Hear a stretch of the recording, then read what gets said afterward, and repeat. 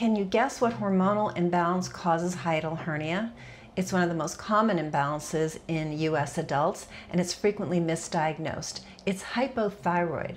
And the way it creates hiatal hernia is in three key ways having to do with muscle contraction, having to do with the motility of your food, how fast it moves through your intestines, as well as the fact that it causes constipation and bloating. So let's jump into how all these factors work and the fact that hypothyroid is so frequently misdiagnosed and underdiagnosed is something you really want to consider because the thyroid, I mean, there's no organ that's not important in the human body, but when you have a thyroid that's malfunctioning, it can create such a host of problems, including hiatal hernia, which I think most of you would agree that wouldn't be on the top of your list of what, of what your low thyroid was causing.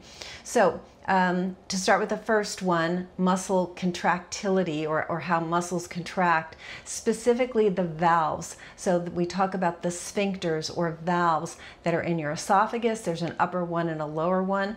And what these valves are all about is as food is traveling from your mouth down, um, they they open when food and drink is is coming and then they they close back up after it's passed and they, and they create a bit of a downward pressure to make sure that everything is going from top down. That's the only direction everything is supposed to go in your gut is top down. So acid shouldn't come up your esophagus, food shouldn't come up your esophagus, bile shouldn't go up into your stomach. None of it should go in the wrong direction. And you have about 10 to 15 valves or sphincters in your body that are dedicated to just that motion of top down and making sure that contents move in the right direction.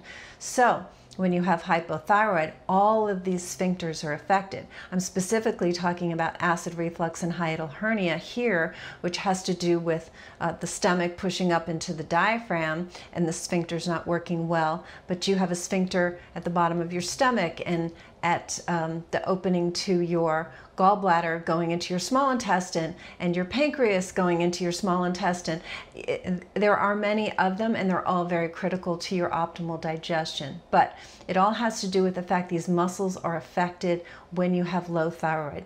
Then you have slowed motility. So now there's just the motion top down, but everything has a bit of a rhythm in your gut. And when that rhythm slows, then things are not absorbed the way they should, they hang around too long. When they do that, bad bacteria can multiply and procreate and create uh, an imbalance called dysbiosis in your colon. Dysbiosis just means bad bacteria, an imbalance of bacteria in your gut. And those bacteria are responsible for not only good digestion, but also the health of your immune system and hormonal uh, balance and whether you're pro inflammatory, if you have inflammation, or you're in an anti inflammatory state, which is very health promoting. So, very key that motility, things are moving the way they should. And, and that really segues nice into the third point, which is that when you have hypothyroid, you have constipation and bloat. So things are moving so slowly, your, your colon is not emptying the way it should.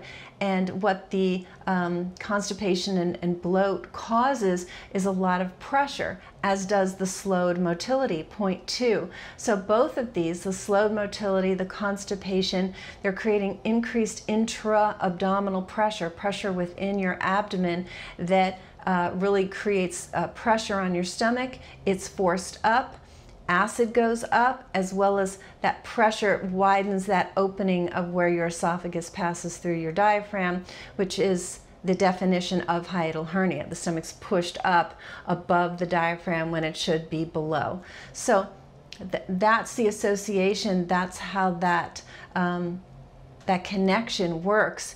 And I think the important thing is to really get yourself with a clinician who's going to properly diagnose you if you have hypothyroid or uh, borderline hypothyroid. Because unfortunately, thyroid is not looked at in depth enough in our standard uh, traditional clinical practices. They're looking for way out of line thyroids, not, not non-optimal okay? So he you know what we do here is is we look for optimal ranges and and that's what I do when I'm talking to patients. It's like normal you know might be here. It's really uh, too big a range. We want optimal functioning. So as soon as you've left optimal you are to a degree malfunctioning and that needs to be addressed. So um, find yourself a clinician who who really knows how to dive deep and, and do a thorough look at your thyroid, not just the one hormone that's typically on the annual physical. Uh, well worth your while, especially if you're battling with any of these symptoms. So I hope you found this helpful. Uh, if you did, give it a thumbs up. Consider subscribing to the channel. We're trying to increase our subscribers so that more people can get exposed to this information and, and really be um, more in control of their health and, and be able to make decisions about feeling better and enjoying their life more because they've regained their health. So, um, and send me a comment. I answer all my comments. I love hearing from you and I appreciate you. We'll talk soon.